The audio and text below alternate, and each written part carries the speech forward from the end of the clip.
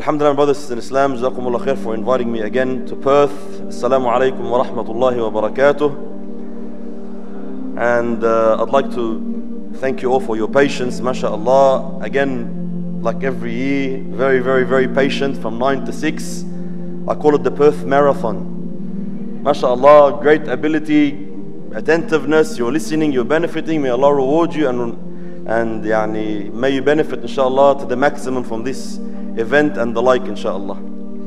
Alhamdulillah, this is like, like always, mashallah, you've been hearing from 9 to approximately now about Judgment Day, a saa detailed information about the signs of the hour and we have reached a point now where I'm sure we're realizing with the flow, we're coming towards the real end. You know, things are getting very, very, very hard, things are getting very tight. It's a time that no one wants to see, which is my first point today in my lecture. Like Sheikh Shadi mentioned briefly, my brothers and my sisters, some uh, Muslims in our time because of the tests that we're living, the current environment, the hardships, we tend to look for hope. We tend to look for a solution. And because we are weak and we find ourselves unable to change, whether individually or as a community, we find ourselves unable to move forward, we tend to look for a hope. Something external will happen, something no, no, that we don't have to do ourselves. Rather, it's something Allah subhanahu wa ta'ala promised, His Prophet sallallahu alayhi wa sallam promised. We're waiting for it and we can't wait for this change to come and happen. So we want to bring things back to scope a little bit. Let, let, let, let us be very, very clear that every Muslim should not wish, you should not wish to ever live until you see these days, my brothers and my sisters. They are called the fitan. These are the major tests that will come at the end of time. It's not a happy season. You wanting to see the Mahdi, you wanting to live until the Mahdi appears, is a sign that you do not understand how heavy and severe these tests are. Rather, every Muslim should ask Allah al-afiyah, should ask Allah subhanahu wa ta'ala to protect him from even seeing these tests or seeing these days. The Muslim does not ask Allah to be tested.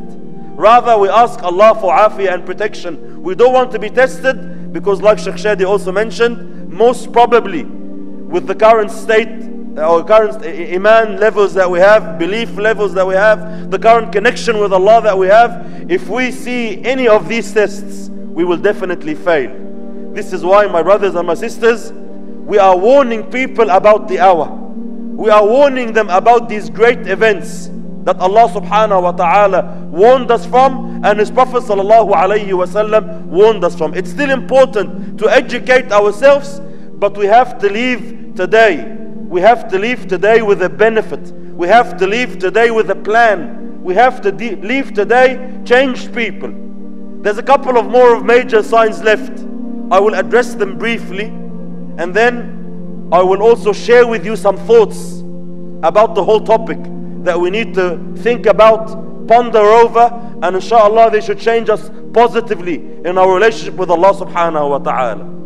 After, mashallah, Isa alayhi salam kills the Antichrist at Dajjal, and after, uh, you know, Ya'juj and Ma'juj, like Sheikh said, he said, Allah subhanahu wa ta'ala, my brothers, khalas, has clearly purified earth, and there's a very, very few, there's a very, very few, maybe sinners still alive. Maybe my brothers, the majority are believers, but the human nature is as such. Whenever prosperity comes, deen starts decreasing again. And unfortunately, this is the case and we realize it.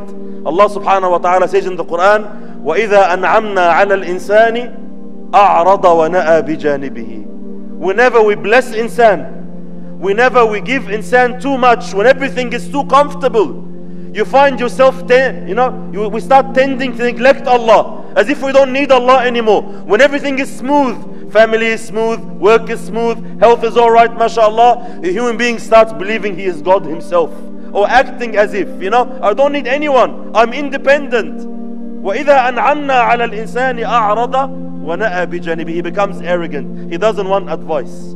وإذا مسه الشر كان يئوسا when evil hits him a bit when hardship tests him a bit he starts losing hope straight away this is the quality of insan but subhanallah my brothers and my sisters our habit is as such when things are smooth we neglect Allah so likewise after prosperity and khair spread on earth in Isa alayhi salam's time like we heard people again will start neglecting Allah subhanahu wa ta'ala and neglecting deen and then other major signs will appear. One of these major signs, my brothers and my sisters, is the dukhan. Allah subhanahu wa ta'ala said in the Quran, فَارْتَقِبْ يَوْمَ تَأْتِي السَّمَاءُ بِدُخَانٍ مُبِينٍ يَغْشَى النَّاسَ هَذَا عَذَابٌ أَلِيمٌ Allah subhanahu wa ta'ala will send severe smoke, very, very strong smoke that will cover all earth. For a believer, for someone who is close to Allah, someone still on the path, this smoke or this heavy smoke will only result in a, a, a, a small flu, a zukam, you know. The believer will only feel the smoke or the results of the smoke as a flu, and anyone who does not have iman, does not have belief, does not have a relationship with Allah, this smoke will be punishment for them. It will take the sight and it will take away the hearing. Again, another sign that will differentiate between believers and non-believers. And very limited information in the authentic sunnah of Rasulullah is available about this sign. But it's something we have to believe in, accept, and ask Allah subhanahu wa ta'ala to protect us from that we never ever see these days. Also, one of these other signs, my brothers, is uh, the landslides. The Prophet ﷺ warned his ummah that towards the end of time, three major landslides will happen. A major landslide in the east, a major landslide in the west, and a major landslide in the Arabian Peninsula.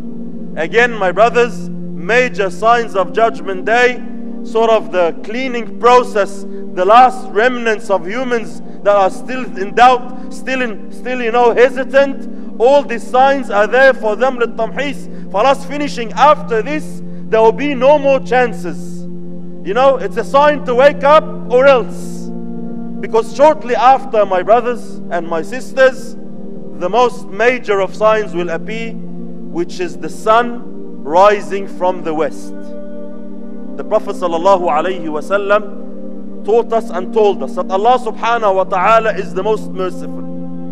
He subhanahu wa ta'ala accepts the repentance of anyone, my brothers and my sisters, regardless of your sin, regardless of how much you disobeyed Allah, regardless of how much haram, how much disobedience of Allah is in your life All you need to do to repent to Allah is ask Allah subhanahu wa ta'ala for forgiveness and intend never to return again regret the sin and intend never to return and Allah subhanahu wa ta'ala instantly accepts you not only accepts you rather Allah subhanahu wa ta'ala converts all your bad deeds into good deeds Allah is the most merciful قال صلى الله عليه وسلم إن الله تعالى يبسط يده بالليل ليتوب مسيء النهار ويبسط يده بالنهار ليتوب مسيء الليل Allah subhanahu wa ta'ala extends his arms, his arm at night for the person who committed sin in the morning to repent. Another opportunity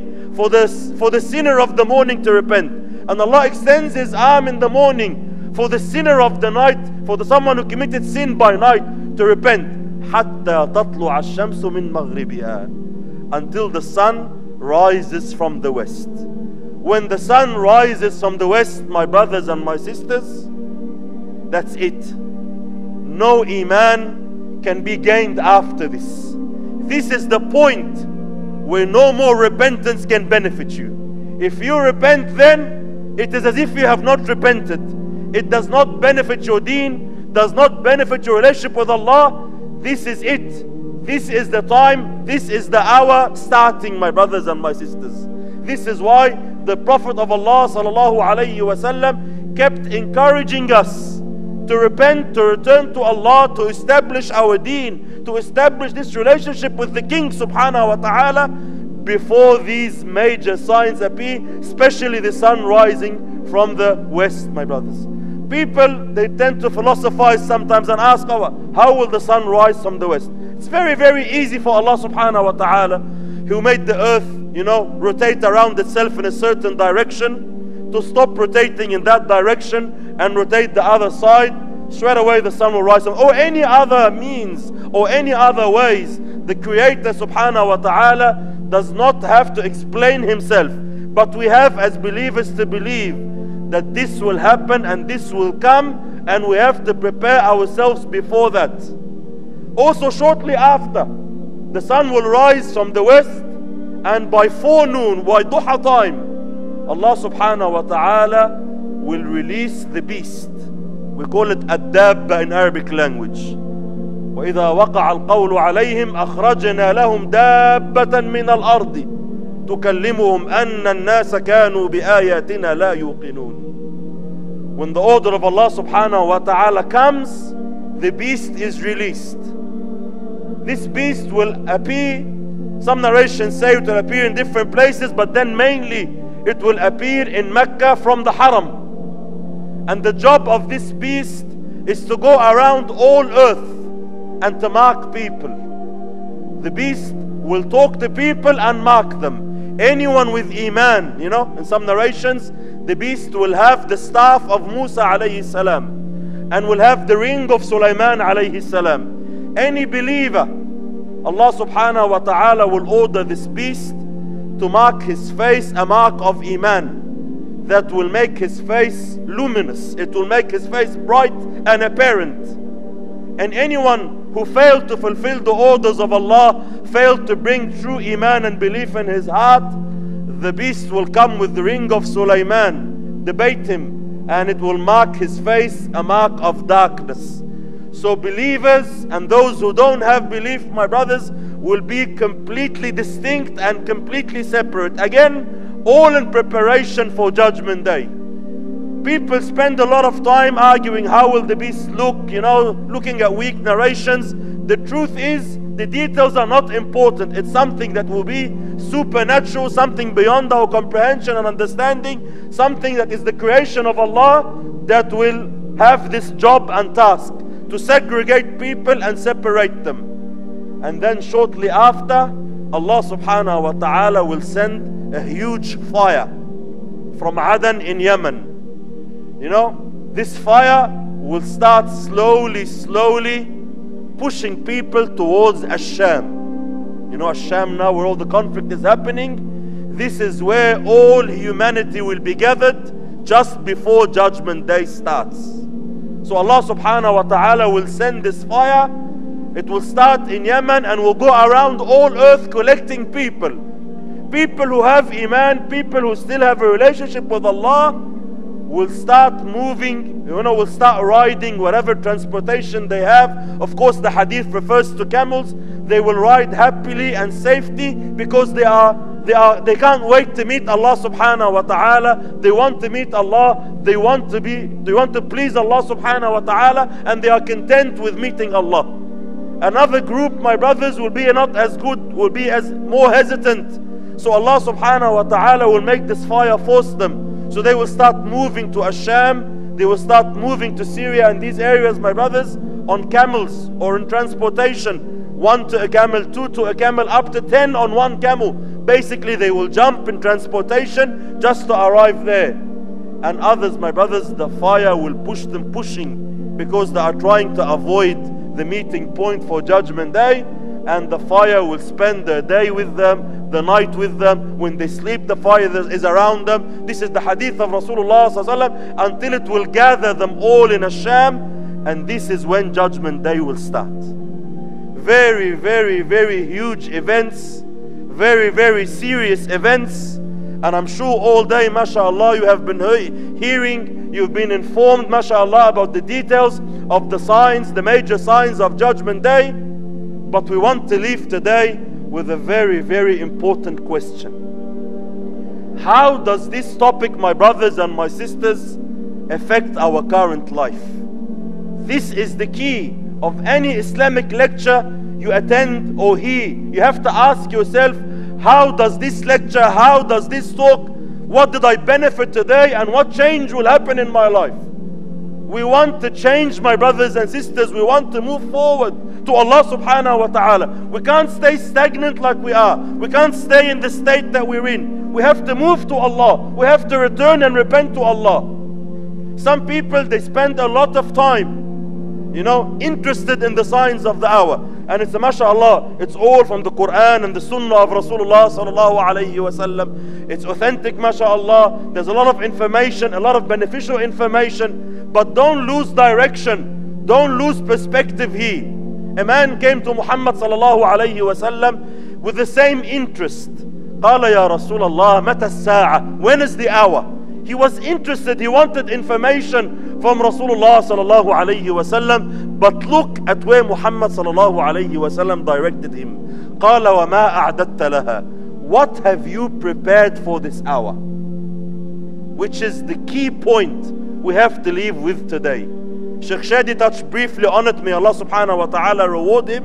And I will emphasize again and again on the same aspect, my brothers and my sisters. What have we prepared for this hour? What have we prepared for these signs?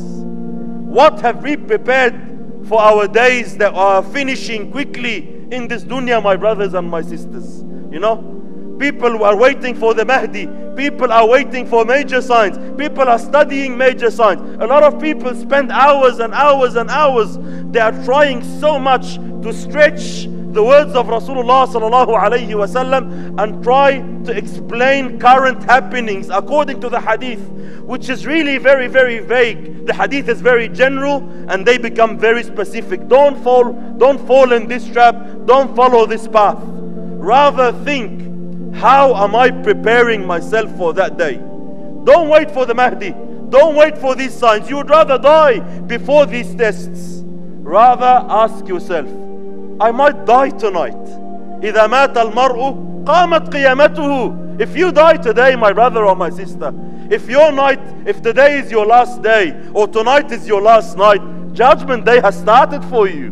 Don't worry about Mahdi or a Dajjal or the return of Isa alayhi salam. Your judgment day has started. What have you prepared? The disease that is eating the ummah of Muhammad sallallahu alayhi wasallam in our time is what we call tul al-amal. Long hopes. If I ask anyone present here today, brother, sister, can you die tonight? Can tonight be your last night? Could that Dhuhr Salah you just prayed earlier be the last prayer you will ever pray?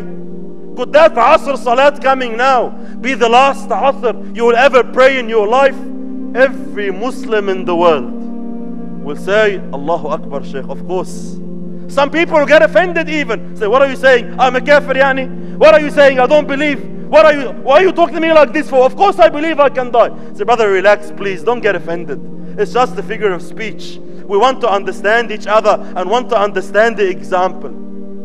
Who, my brothers and my sisters, really in his heart has true and genuine doubt that today might be my last day? Who came here to the, to the convention in the morning, planning himself, preparing himself that maybe there's a chance that this is my last day? Who prayed his Dhuhr Salat now with a thought in his mind that maybe this dhuhr salat will be my last salat, I'd better perfect it.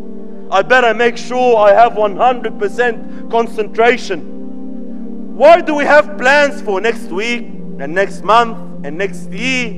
Why is it that the Muslim has no, not, not even in the back of his mind, the truth in the heart is that we think we are here to stay. As long as I'm healthy and no doctor said to me, You're dying, Alhamdulillah, I'm fine, I'm living. This is the reality in the hearts.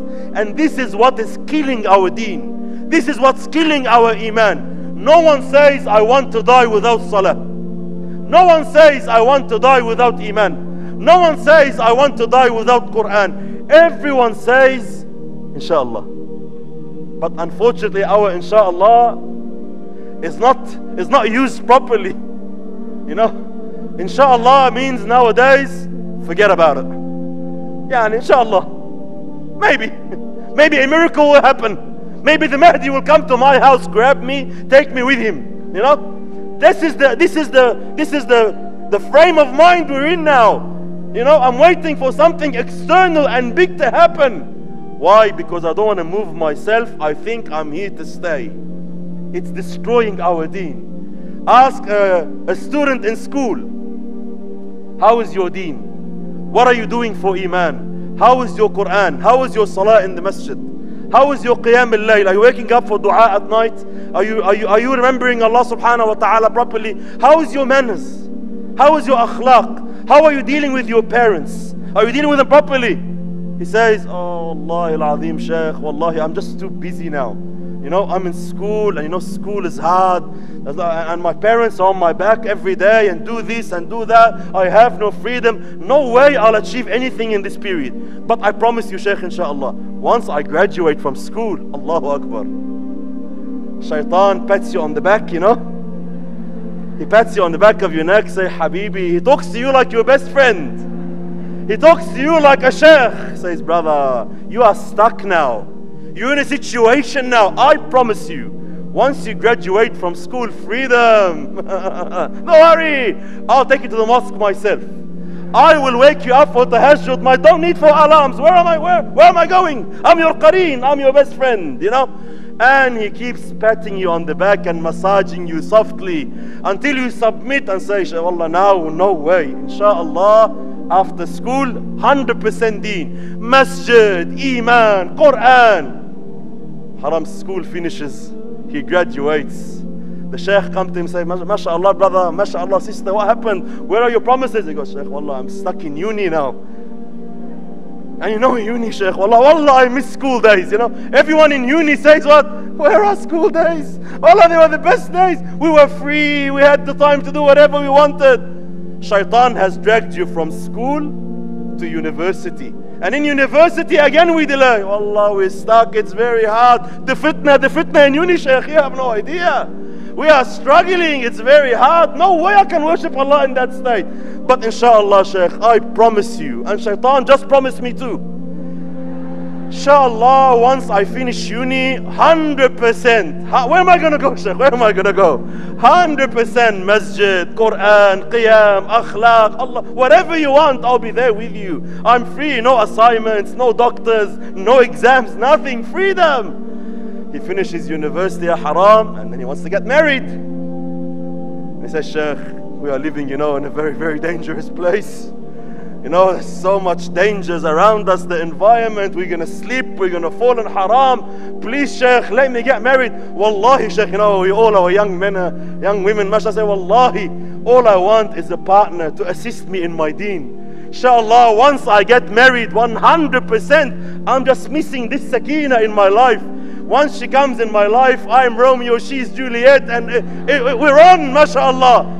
Everything will be sweet, deen will be beautiful, salah in the masjid. She'll wake me up for the tahajjud. I'll wake her up for the tahajjud. Little does he know, ya haram, once he gets married, inna lillahi wa inna ilayhi raji'un. No salah, no deen, no lie, nothing. Nothing. People get married and they start saying, oh, where are the days of freedom? Those who are married are wishing they were not married. And those who are not married are wishing they were married. You know, subhanAllah. Imam al-Shafi'i and other, you know, narrations of other scholars, they are quoted to have said, من تزوج فقد ركب البحر. It's hard to explain in Arabic, but in the old days, jumping in a ship in the sea, on a ship in the sea, was equivalent to committing suicide, you know? Like suicidal. Someone gets really depressed, he goes, all right, I'm going to sail somewhere with a boat, you know? So they considered marriage a similar risk. قال من تزوج فقد ركب البحر. If you get married, you are taking a suicidal mission. فإن أنجب له كسر به. If he has children, the ship sinks. Why, my brothers and my sisters, now you think you are busy. But soon, when you have a family, you have children, now you have to pay bills, you have to pay rent, you have to do this, you have to look after her, take her out, take her to holidays. She wants this, she wants that, you want this, he wants that, and it's gone. This is why, my brothers, if you look at our lives, there is no point in life where a Muslim will have free time for deen. We have to make time for deen. The Muslim plans ahead, says, now is the time. No delay. Don't believe the promises of shaitan. Don't believe the false ropes of shaitan and iblis. Don't worry, in the future, in the future. This is the disease that is destroying our deen. Everyone thinks, inshallah, in the future, things will get better. This is why the Sahaba radiallahu anhum, my brothers, they took the advice of the Prophet sallallahu alayhi wasallam. Look at his words sallallahu alayhi wasallam. قال صلى الله عليه وسلم بادروا بالأعمال سبعة Race to أعمال Rush to good deeds Compete in good deeds Compete in deen Before you are hit with one of the seven afflictions What are you waiting for? هل تنتظرون إلا فقرا منسيا What are you waiting for?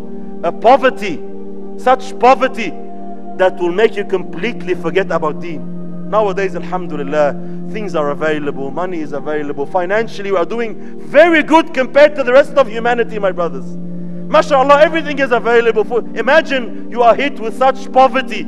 There's no food on the table for your family, for your children. How can you focus in deen? How can you focus in salat? How can you read Quran? How can you study knowledge?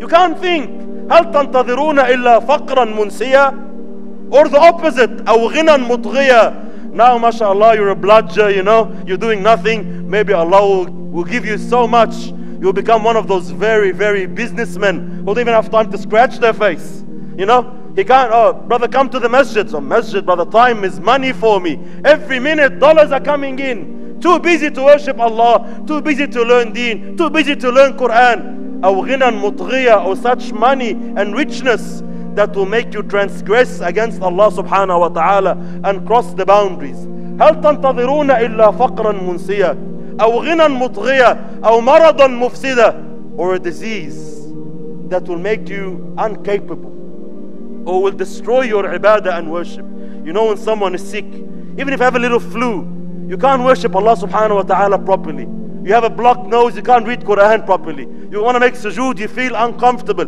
You have a bit of a fever, you can't worship Allah. What are you waiting for? Now you are healthy. Maybe tomorrow you will be sick. Use your time, race to good deeds. This was the spirit of Sahaba. This was the advice of Muhammad sallallahu alayhi wasallam. أو مرضا مفسدا أو هرما مفندا or old age. Maybe Allah will make you live until you are old and then you can't worship Allah properly. You want to go to the masjid, your back is hurting you. You want to make sujood, wallah, the doctor said, don't, your knees and this and that. Or it will, it will make you incapable of worshipping Allah subhanahu wa ta'ala. You know, incapable of worshiping Allah. So, هل تنتظرون إلا فقرا منسيا أو غنى مطغيا أو مرضا مفسدا أو هرما مفندا أو موتا مجهزا or sudden death. Nowadays, my brothers and my sisters, young men, young women are dying more than older people. Elder people are living, but young people are dying more often now. Diseases, subhanAllah, that we always heard only come to elder people are now coming at young teenagers. We are hearing the stories. Now there is no, no guarantee you will live. No one should ever have the hope, I will live five years, I will live ten years. How do you know? A little car accident and you're gone. A small disease, unexpected, around us. Allah shows us signs around us. But still, my brothers, shaitan is fooling us. أو موتا مجهزة أو الدجال. Are you waiting for the Dajjal? The Prophet of Allah said this. أو الدجال. Are you waiting for Dajjal? فشر غائب ينتظر. He is the worst expected. أو الساعة. والساعة أدهى وأمر. Are you waiting for the hour? The hour is even more bitter and worse. What are we waiting for? Why are we delaying our deen for? Why are we still having hopes and planning long-term plans? The Muslim lives day by day, my brothers and my sisters. The Prophet ﷺ grabbed a young man, a youth. He grabbed a young man, very, very famous. His name was Abdullah ibn Umar anhu, the son of Umar ibn al-Khattab. He grabbed this young man by the shoulders. You know, when you, in, in, in, it's an Arabic gesture. If you want to say something very important, you grab the person in front you in front of you by the shoulders قال أخذ رسول الله صلى الله عليه وسلم بمنكبي he grabbed me by the shoulders وقال كن في الدنيا كأنك غريب أو عابر سبيل live in this dunya as if you are a stranger a traveler or a transit passenger did you ever ponder about the words of Rasulullah sallallahu alayhi wasallam my brothers We are transit passengers. We are not here in this dunya to stay. Wallahi, you are not living here forever. Love whatever you want, love whomever you want, get attached to whatever you want. Soon you will have to leave. You will have to depart, you will have to separate. Jibril alayhi salam came to Muhammad sallallahu alayhi wa sallam وقال يا محمد Oh Muhammad عش ما شئت فإنك ميت Live as long as you want One day you will die وأحبب من شئت and love and get attached to whoever you want فإنك مفارق You'll be separated from each other واعمل ما شئت فإنك مجزي به And do as you wish For verily Allah subhanahu wa ta'ala will take you to account on judgment day So Ibn Umar radiallahu anhu when he heard the words of the Prophet live in this world as a stranger, as a traveler, as a transit passenger. Ibn Umar radiallahu anhu was smart. He was a young man. There was no reason for him to expect any sort or form of death coming soon for him. But he was smart. فكان ابن عمر بعد ذلك يقول after he heard this from Rasulullah he used to say إذا أصبحت فلا تنتظر المساء when you wake up in the morning don't expect the evening to come وإذا أمسيت if you hit the evening don't expect the morning to come can you imagine my brothers and my sisters if we manage to convince our hearts that today might be my day Imagine my brothers and my sisters if the angel of death was to come to any of us this morning after Fajr he knocks on your door says Mike, I'm coming you know Maghrib I'm coming prepare yourself how will your day be how will your day be? Are you going to spend your day on YouTube? You're going to spend your day on Facebook? It's halal, Sheikh. It's not about halal and haram now. It's all about my brothers and my sisters. Are you fulfilling what Allah subhanahu wa ta'ala wants from you or not? Are you doing the job Allah subhanahu wa ta'ala created you to do or not? You know? So if you know your death is coming, wallahi, wallahi, no work, no wife, no children, you run to the masjid and start crying and pleading to Allah. Reading Quran, Ya Allah forgive me, Ya Allah accept me. No time to waste. You know? How about if the angel of death comes at you at the beginning of the night and says to you after Maghrib, uh, I'm really, really sorry to inform you, but before Fajr you're gone. How will your night be? Will you snore till Fajr? Will you sleep all night? Will you sleep and miss Fajr that day? Will you have your alarm on for tahajjud? Will you have your alarm on for a night prayer? Wallahi, you will not be able to sleep at all. You'll cry, you will plead, you'll be praying to Allah subhanahu wa ta'ala. A true believer, my brothers and my sisters, lives as such. He is not waiting for judgment day to start. He wants to clear everything before this day is even close. He knows that his judgment day might start tonight, might start any second. And because of this feeling, they are working very, very hard day and night. They are competing like Allah subhanahu wa ta'ala ordered them. Allah said, وَسَارِعُوا إِلَى مَغْفِرَةٍ مِّن رَبِّكُمْ Race. It's a race, my brothers and my sisters. A race for the forgiveness of Allah. وَجَنَّةٍ عَرْضُهَا السَّمَوَاتُ وَالْأَرْضُ And a paradise, the width of which is heavens and earths.